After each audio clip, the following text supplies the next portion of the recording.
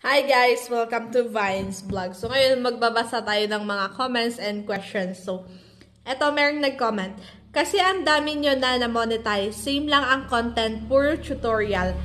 Hahaha, naka, nakahalata si Meta. Ito kasi yung pinag-uusapan kung bakit bumaba yung um, earnings sa ads on Reels. So guys, talagang bababa po yan kasi marami pong mamamonetize na content creators, maraming magkakaroon ng ads on Reels, and yung ads on Reels naman guys is shared revenue po yan. Paghahati-hatian po ng mga content creators yung binayad ni advertiser para sa mga ads niya.